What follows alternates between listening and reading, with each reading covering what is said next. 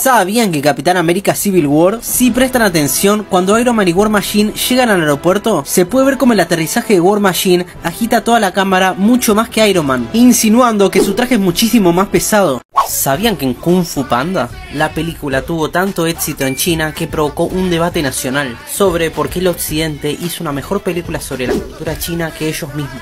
¿Sabían que en Encantada, si prestan atención, en esta escena, James Marden fue atropellado por los ciclistas de verdad? En el guion original solo debían golpearlo y él fingiría una caída, pero Marsden no pensó que se vería bien, por lo que insistió en filmar un choque real. ¿Sabían que los increíbles, si prestan atención, el traje de Elastigirl se encuentra roto casi al final de la película? Este mismo fue hecho por Depte. Esto nos indica que realmente Edna Moda es superior creando trajes mucho más resistentes y con mejor diseño. ¿Sabían que en el Escuadrón Suicida, James Gunn decidió poner a Polka Dot Man en la película porque su nombre surgió después de buscar en Google quién es el personaje de DC más tonto de todos los tiempos?